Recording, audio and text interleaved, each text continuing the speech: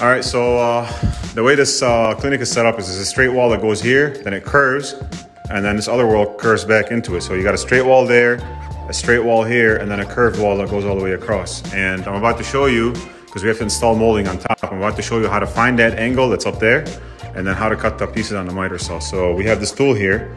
This is called the angle finder, and we use it at every single corner. And that's how I was able to figure out that the other side was not a uh, an actual true 90.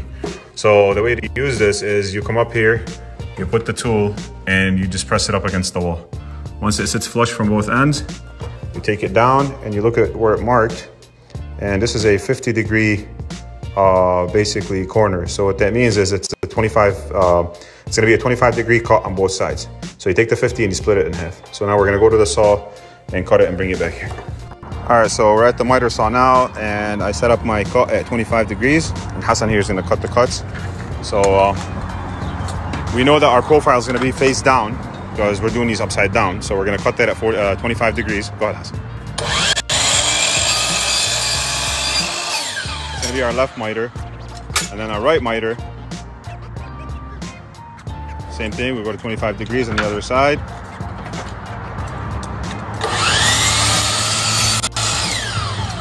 Let's take the pieces back inside just to show you. This is just a dummy piece, by the way. It's not the piece that's going up, but I wanted to show you guys how it looks. All right, so we're back now, and I'm about to show you what the cuts look like. So we got our right miter right there. That's our left. Squeeze them together. There you go. Beautiful, beautiful miter cut. No gaps, nothing. No caulking needed. Done. So, uh, so my cousin just uh, brought to my attention that some of these angle finders don't have the bottom numbers on them. They only have from 0 to 180 degrees.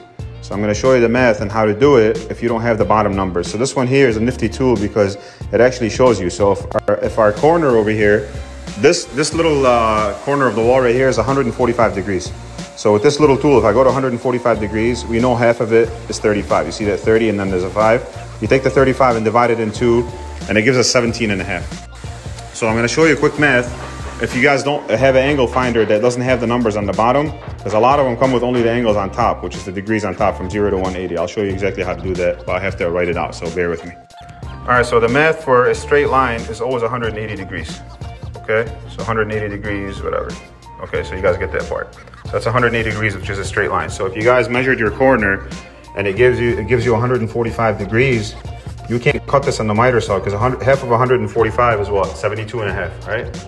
70, yeah, 70 and 70 is 140 and then two and a half. So half of this is 72 and a half. The, the basically the most you can get out of the miter saw is a 45 degree cut.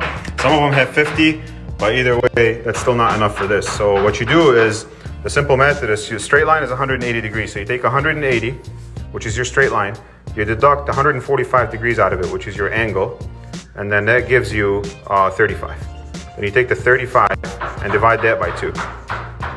And then that gives you 17.5. So that's basically our angle over here right now. So 180 minus our angle, which is 145, equals 35. You take the 35, you should be able to get the same cut that we just got earlier. So hopefully this doesn't uh, confuse anybody. Straight line is 180. That's your straight line. And then you have your angle. I already put it here. That's your angle, and then that gives you 35. You divide the 35 by 2, and that's your 17.5. That's basically your miter cut. This is uh, guaranteed to work every single time.